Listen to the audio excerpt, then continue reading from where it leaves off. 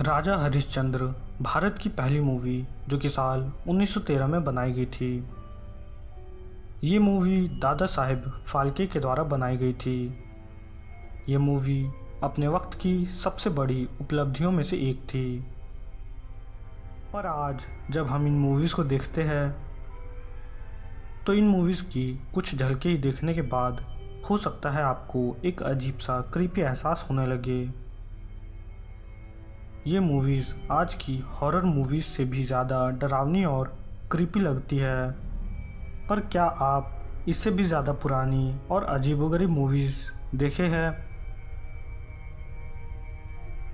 यदि नहीं तो आज की हमारी ये वीडियो देखने के बाद हो सकता है कि आपको राजा हरिश्चंद्र की मूवी भी कम क्रीपी लगे। तो चलिए बढ़ते हैं हमारी वीडियो की ओर और, और आगे बढ़ने से पहले please like and subscribe to our channel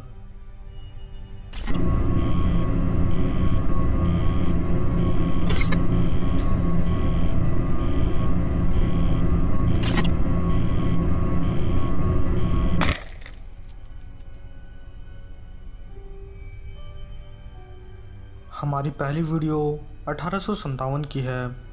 ये वीडियो अपने वक्त की सबसे ज़्यादा मशहूर फ़िल्मों में से एक थी। इस फ़िल्म का नाम था द पिनिंग टॉम। इस फ़िल्म में एक शख्स अपने होटल के हर गेस्ट के रूम में हर वक्त झांका ताकी करता है। ये फ़िल्म एक अमेरिकन मोटोस्कॉपी कंपनी के द्वारा बनाई गई एक कॉमेडी शॉर्ट फ़िल्म थी। पर इस फ़िल्म को आज शायद ही कोई शख्स एक कॉमेडी फ़िल्म माने। आज ये फ़िल्म सबसे ज़्यादा क्रीपी फ़िल्मों में से एक मानी जाती है।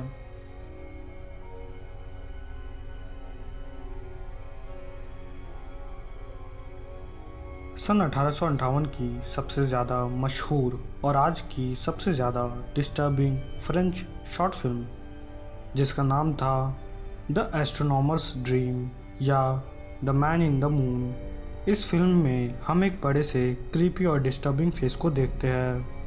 जो बार बार एक एस्ट्रोनॉमर को परेशान करने की कोशिश करता है। आपको ये शॉर्ट फ़िल्म कैसी लगी, हमें कमेंट्स में ज़रूर बताएँ।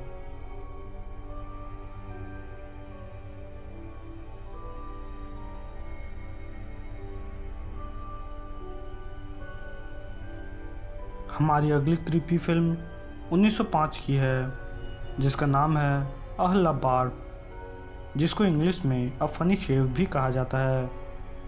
पर दो मिनट की ये शॉर्ट फ़िल्म आपको फनी कम और कृपी ज़्यादा लगेगी।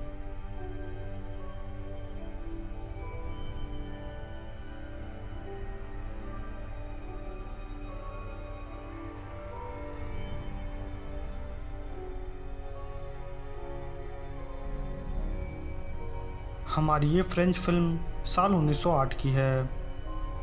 इस फ़िल्म का नाम था ला ग्लेने जिसका मतलब होता है द फ्रॉग।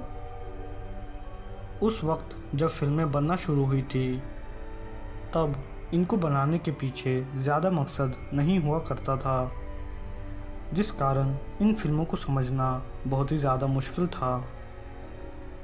यदि आपको इस फ़िल्म को देखने के बाद कुछ समझ आए तो हमें कमेंट्स में ज़रूर बताएँ।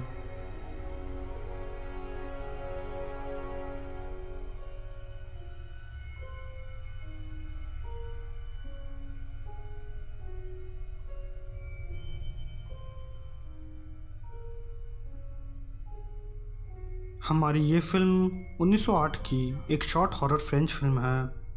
ये फ़िल्म अपने वक्त की सबसे ज़्यादा डरावनी फ़िल्म मानी जाती है और आज की सबसे ज़्यादा क्रिपी शॉर्ट फ़िल्म आपको क्या लगता है इस फ़िल्म के बारे में? हमें कमेंट्स में ज़रूर बताएँ।